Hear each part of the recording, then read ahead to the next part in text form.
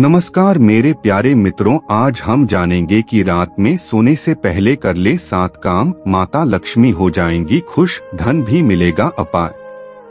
धन और वैभव की देवी माता लक्ष्मी की पूजा करने और उनके पसंद का भोग लगाने से सुख, समृद्धि, धन और दौलत में वृद्धि होती है। माता लक्ष्मी की कृपा प्राप्ति के लिए लोग उनके मंत्रों का जाप करते हैं तथा कई तरह के ज्योतिष उपाय करते हैं।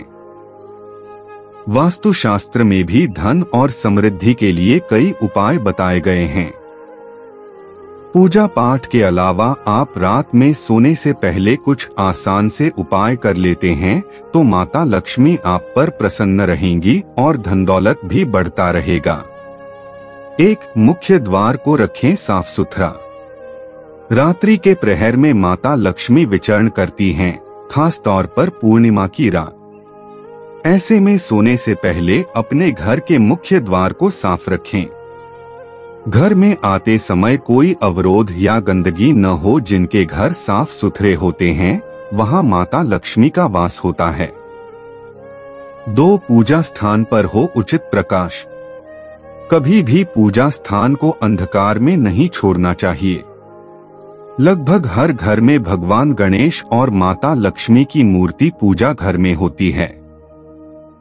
रात्रि में सोने से पूर्व वहाँ पर छोटा सा बल्ब या एक घी का दीपक जालकर रख दें। इससे माता लक्ष्मी प्रसन्न रहेंगी। वास्तु में भी अंधकार युक्त जगहों को नकारात्मकता का केंद्र माना जाता है। तीन उत्तर दिशा की सफ़ाई। वास्तुशास्त्र में उत्तर दिशा को धन के देवता कुबेर की दिशा मानते हैं। जब आप रात में सोने जाएँ तो इस दिशा को साफ़ कर दें। इस स्थान पर तिजोरी रखते हैं, ताकि धन में वृद्धि होता रहे। चार झाड़ू को खड़ा न रखें। रात में सोने जाने से पूर्व आप यह देख लें कि आपके घर की झाड़ू सही जगह और तरीके से रही हुई है, या नहीं। झाड़ू को खड़ा रखने, पैर लगाने से माता लक्ष्मी का अपमान होता है। झाड़ू का उपयोग होने के बाद उसे छिपाकर रखें। उसे ज़मीन पर लिटाकर रखना चाहिए। पाँच सही दिशा में सोएँ।